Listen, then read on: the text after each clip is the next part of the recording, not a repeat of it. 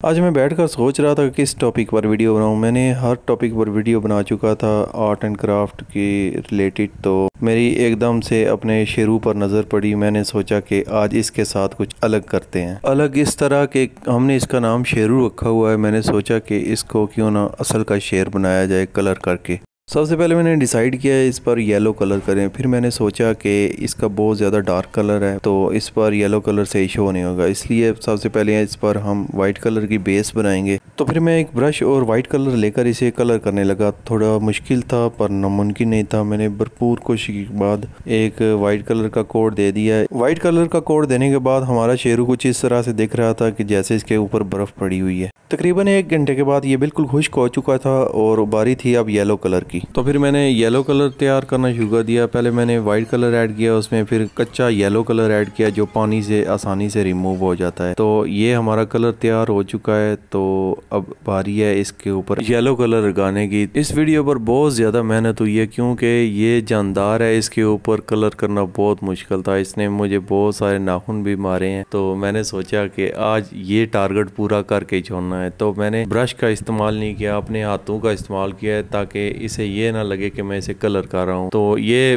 पूरा टाइम यही सोचता रहा कि ये मुझे हाथ से सहला रहा है, इसीलिए ये आराम से ये इंजॉय करता रहा और मैंने इस पर कलर कंप्लीट कर दिया। कलर कंप्लीट करने के बाद ये शेर कम और जशिंदर ज़्यादा लग रहा था।